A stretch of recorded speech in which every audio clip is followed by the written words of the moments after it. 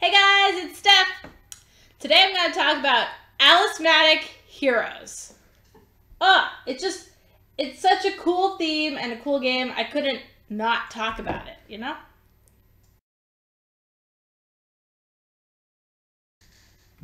Alicematic Heroes is a game for three to five players and is a tactical war game with the theme of Alice in Wonderland.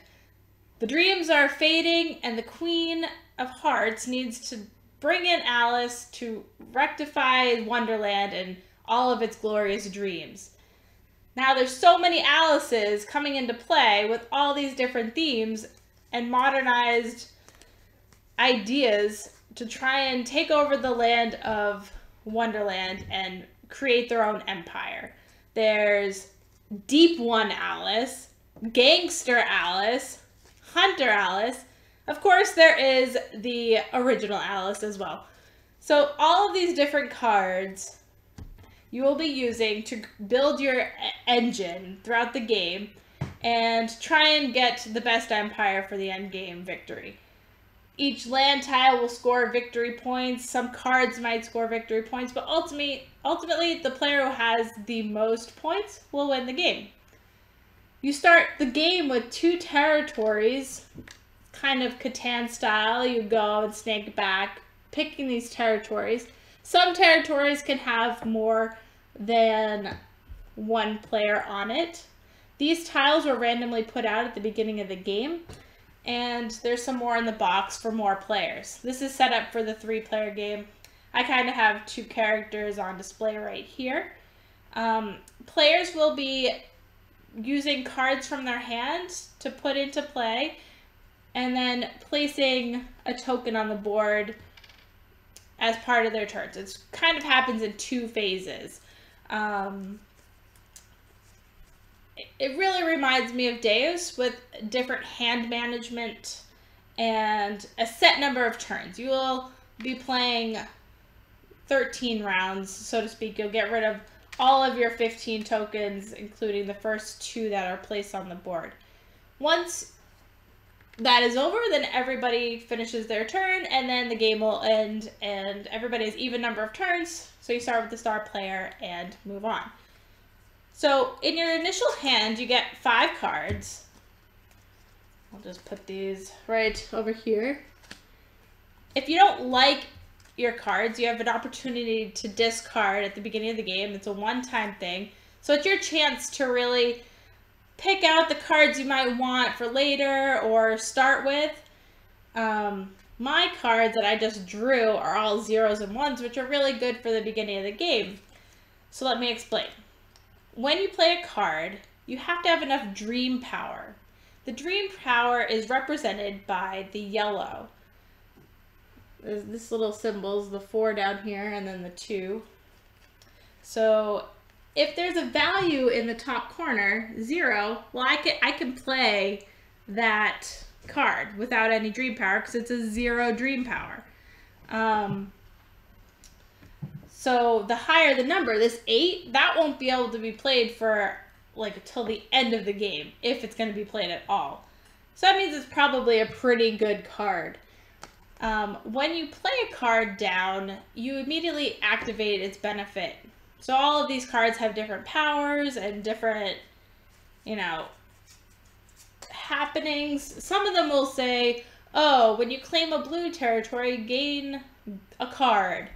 You know, different things that will happen upon when you do something on the board. So you might not always get it right away, but some of them might just say, you know, gain a green token. All right, I'll gain a green token. So each turn you'll be playing a card either face up or face down as a commoner, like so. So you can't be totally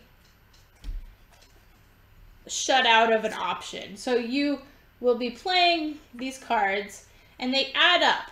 So I can only have a max four in each column.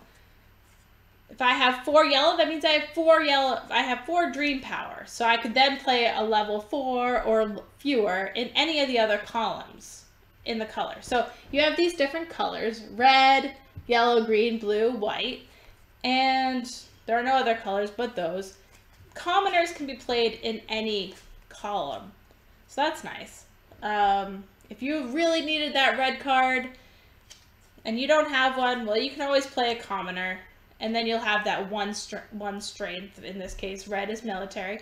And because you play a commoner card, you actually draw a card.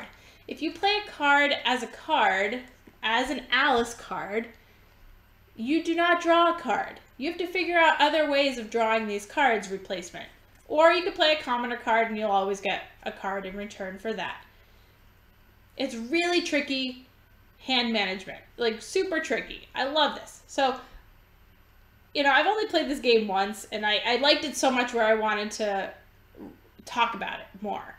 Um, so the blue stack is draw cards. So whenever I were to claim a blue territory, and I'll get to that in a little bit, I will get number of cards equal to how many blue cards I have on my display. So really important. But is it more important than dream power at the beginning of the game? It's hard to say because you need your dream power to get all of the other cards in play. Strength is critically important because wherever you start on the board, in order to take over any territory, you have to have the strength equal to that or or better. So the zeros, of course, are all easy to do. You can just go there without having any strength. So that's generally how the game begins. Everybody will start branching out into the zeros on display. But as soon as you start building up your, your strength, you can go into different territories of greater value.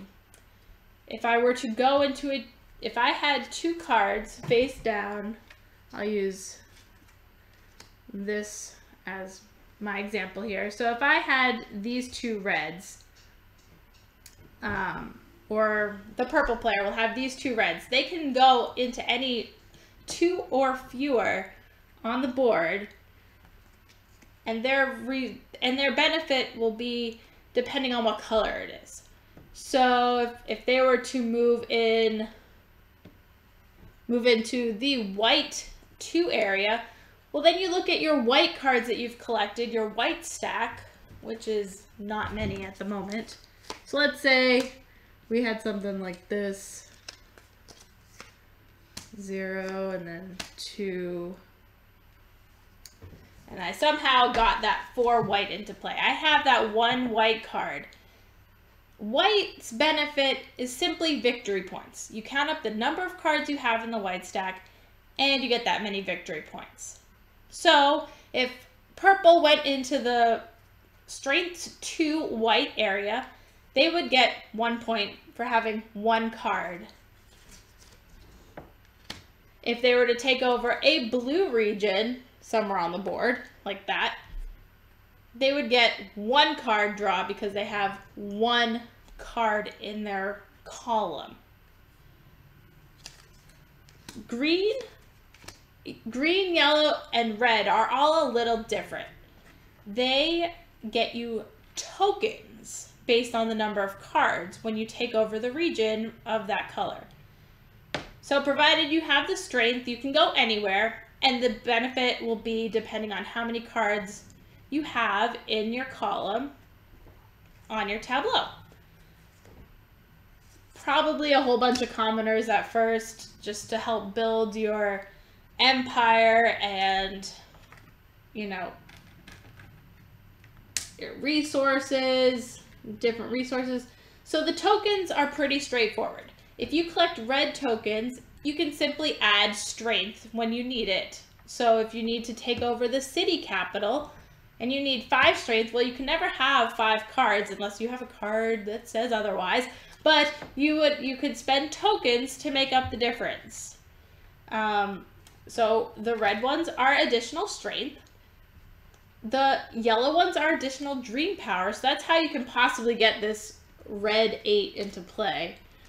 So let's see, I think I put it here. If I had enough dream power, I could just say, all right, I'm spending all my seven yellow tokens to put this eight red into play. It's probably pretty good if you got it. So, you know, all other players would be like, really? So these are all different cards and how the board is played out.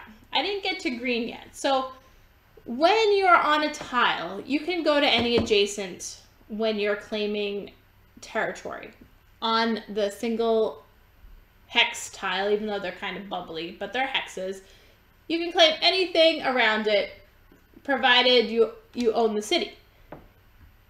If I wanted to venture out onto a new tile, I would have to pay one food for each space I'm away from my capital, the closest capital. So I would have to pay two food for going there.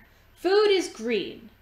So I would look and say, all right, I have two green cards, so that, that negates. I don't have to pay anything. However, if I wanted to go even further to that city, I would, one, need five strength. Two, I would need to have three food. So I don't have three guys, I would have to spend these green tokens to make up for it. If you wanted to cross over uh, enemy lands, you have to pay two food to cross over. You can't go through the Dark Forest. There's something special about that um, for later games when it's all surrounded. People can try and claim them later, but I won't get into that. However, if I were to claim the city, I'm then on that city, so then I can start, you know, building out from out there. At the end of the game, you get six points for being controlling the most for each tile and three points if you're second most. So you want to try and be all over the board. If you ever get disconnected and say, well, I don't want to go on my tile that I am. I'm just going to go go off and do my own thing and pay my three food for going way over here. I can do that. I can simply go anywhere on the board that I want. I just have to pay the food to travel that far from my home city. And if I cross over anybody, I have to pay additional food. So it can get really costly. And the disadvantage of that is that, okay, now it's not connected to my city. Somebody else can come and take me over. You know, in my in my one game of this, that didn't happen at all. Nobody ventured out. Nobody's an explorer like I, I was, but nobody chose to fight me. I, everybody was just building close to home and not really seeing the exploration of the board. I was trying to get everywhere because I wanted to get all the points for having the most of everywhere. You know? I wanted to be everywhere. What's cool about finding a city is that you also get six points right away. Yes. Points are good. Points will win you the game. So you want to do all this while managing your hand and try not to run out of cards. I can't really say how important cards are, but if you play five houses down, you have no more cards. You're kind of like, uh, okay. So, I guess I would have to say, don't be out of cards. You can skip your turn to draw a single card. You're missing the placement phase, however. So it's kind of, you got to do what you got to do, of course. So Alicematic it's all about finding the best patterns and best combinations you can. It reminds me a lot of Deus, except you don't ever really get the extra cards that you will find in Deus. But you're building up these different powers and getting be more benefits as the game goes on. You'll find a lot of these Alices, besides, besides being adorably, amazingly cute, do awesome things. The lower they are, the not as great value you might get from it. Some of them have a lot of end game scoring, so you want to look for that. Um, I want to read what this this eight red card, Demon Lord Alice. Oh my god. You can capture other players' territories even if they connect to cities. What? Oh my god, that's pretty awesome. See, I didn't even know. I haven't seen half of these cards, so that is a crazy good card. Oh man. I guess this game can be kind of mean. It is a tactical war game after all. So, that's pretty much the game. I played it with four players and it, it works really well. Um, five players you add extra, well, four and five players you add extra tiles, which is nice makes the game, you know, bigger and more spacious. Um, anyway, I can't wait to play this again. So, I, you know, I, I gave you the rundown of this game. I just want to give you a few thoughts I've been having. So, I don't want to always do videos for uncommon games. I don't know how hard this game will be to get, and I feel bad. It's, it's awesome, so I wanted to talk about it. Um, if you have any ideas on games you'd want to see me do videos for, I'm happy to take those into consideration. I, I'm kind of like, okay, well, everybody does Karuba, everybody does Catan. You know, I since I have access to these cool Japanese and Taiwanese games, I, I've been trying to say, okay, maybe I'll try and do some more in that area because it doesn't get a whole lot of spotlight. And it's just so cool to see all these different artworks for these different games and you know, so hopefully you find these videos cool like I do. Um, it just makes me sad that I can't just like hand you the game too to play with me because I want to play these games with everybody and and share the love of this production. So, you know, these little tokens here, I was just um I think I'm going to have to upgrade them. They get kind of lost in the tiles, so I'm going to have to get little tokens for them. Um, that's my only thing about this game is that you can't really see the tokens. They're there, but uh, they get kind of lost. So I need something that stands up.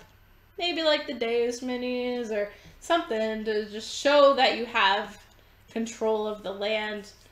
Um, so that that's my thought on this game. I hope you enjoyed it. Uh, I can't wait to play it again. Um, so hopefully tomorrow, you know, you know, there's always another day. If you have any questions, let me know. Thanks for watching!